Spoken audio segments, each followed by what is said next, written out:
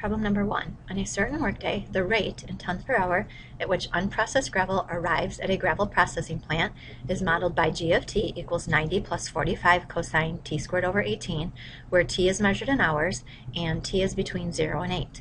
At the beginning of the workday, t equals 0, the plant has 500 tons of unprocessed gravel. During the hours of operation between 0 and 8, time 0 and 8, the plant processes gravel at a constant rate of 100 tons per hour. So before even actually digging into the problem, let's just make sure we know what's going on with this problem. We have a gravel processing plant that has some unprocessed gravel in the plant, and then more unprocessed gravel is going to continue to arrive throughout the day. However, um, they are also, the plant is also processing gravel at a certain rate, which is 100 tons per hour. So we have have a couple things going on in this problem. All right, part A, find G prime of 5. Using correct units, interpret your answer in the context of the problem. So there's two things. There's this one, and there's interpret my answer. All right, first of all, G of T, it says, is modeled in tons per hour. So just keep that in mind. That's G. Right, if it asks us to find G prime of 5, we are actually going to use Math 8 for this one because we should never have to take the derivative or integral by hand if we're using our calculator. This is a calculator problem. So we're simply just going to go to Math 8. This will be the function that we're typing in. We do want to make sure that we are in radians for this problem.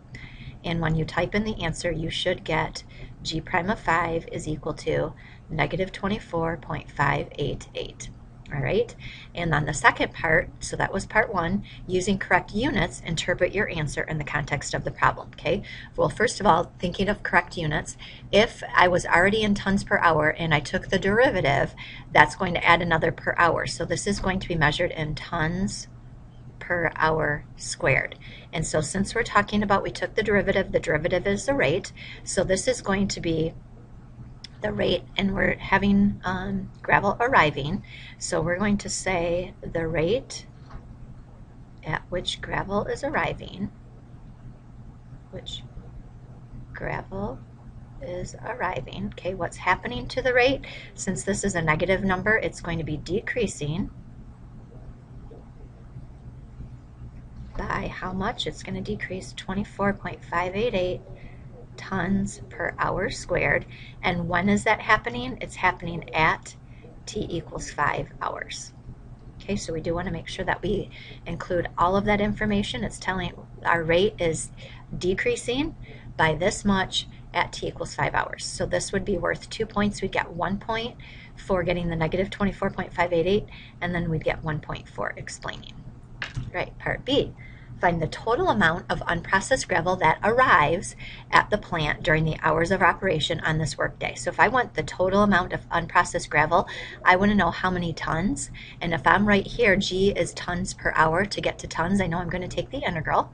So we're going to be going from 0 to 8, and we're just arriving. So we're just going to G is the how much gravel is arriving.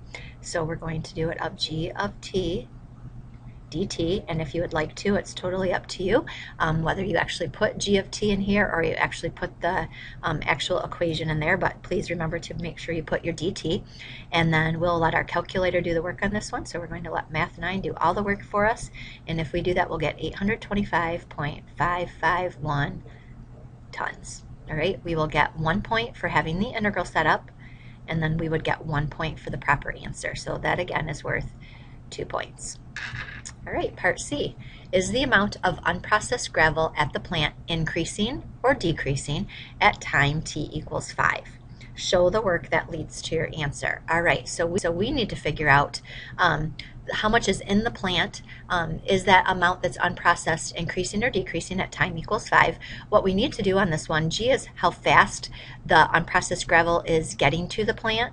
And we also know that um, the plant is processing gravel at 100 tons per hour. So we need to pretty much figure out is the rate at which the gravel is arriving is that bigger than or less than how much how fast they're able to process it. So what i'm going to do i'm going to find g of 5 and i'm going to compare it to 100 to see which one gives me a bigger answer okay? When you find g of 5 just plug g of 5 plug 5 into the g formula. When you do that you're going to get 98.14 1.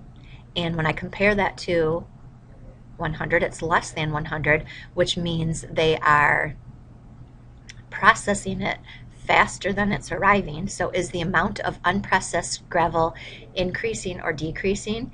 It is decreasing, and that is because, so I'm going to say the amount of unprocessed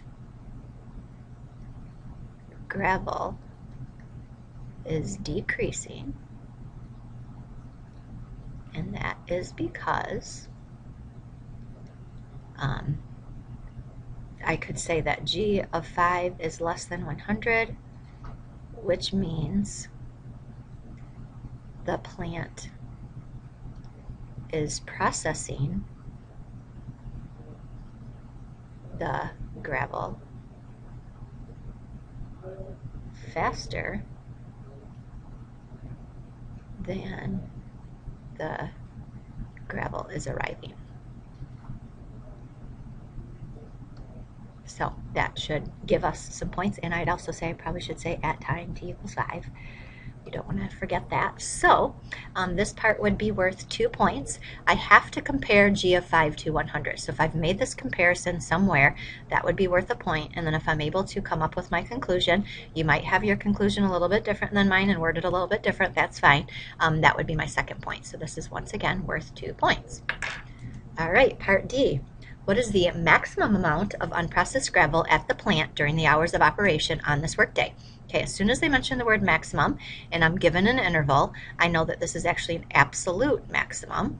Okay, and if you recall when we have an absolute maximum, we are going to find, uh, we'll have an equation and we'll take the derivative of it, we'll find a critical number, and then we'll evaluate the um, actual function at the critical numbers and at the endpoints. So what is the maximum amount of unprocessed gravel? So we need a formula for the amount of unprocessed gravel. So we have A equals the amount. So first of all, we start with 500. So I'm going to start with 500, okay, plus we have some unprocessed gravel arriving. So I'm going to go from 0 to some time t. We don't know how long it's going to be in somewhere between 0 and 8, but not necessarily all the way to 8, so I'm going to put a t there. And then I'm going to actually put um, the, to figure out how much gravel, again, we're dealing with g. So I'm going to put g of x dx, and I'm going to explain that in just a minute. And then I'm not going to put the dx yet. And then we're going to subtract. So this is how much is arriving, but we also have to subtract out how much they're processing, which is 100. So that's going to be my equation for the amount of gravel that I'm going to be processing, all right? Or that's going to be unprocessed. One thing that I'm going to point out from this equation is when I put 0 to t, it looks like just from looking at all of the papers where there have been corrections made, they always like, and I would hate to lose points if we didn't do this, so I'm just suggesting that we just always do this. If I'm going from 0 to t, they always use a different variable in the integral, so we are going to stick with that as well. So if I use a t up here, I'm going to use a different variable in my integral, so please just do that. All right, so now that I have a formula for the amount, I need to find the derivative, so let's just do that. And if I take the derivative of 500, that's just 0. And then we know that the derivative of an integral is just what's there. So it's just going to be g of x minus 100. But I do get to plug in that um, t for the x now. So we're going to have g of t minus 100. Okay, so the next thing that we're going to do is um, find a critical number. So we'll find g of t minus 100. We'll set that derivative equal to 0. And from here, what you can do, we know what g of t is equal to, so we're going to, um, we'll have 90 plus 45 cosine t squared over 18 minus 100 equals 0.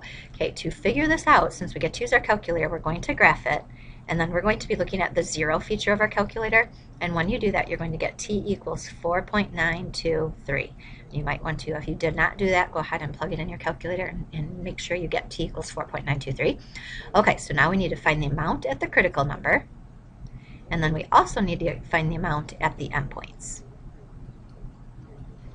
Okay, so to find the amount at 4.923, we're going into the amount formula. So we're going to have 500 plus the integral from 0 to 4.923 of um, g of x minus 100 dx. So we can use g of x, which is right up here. We'll just put an x in instead of a t, no biggie.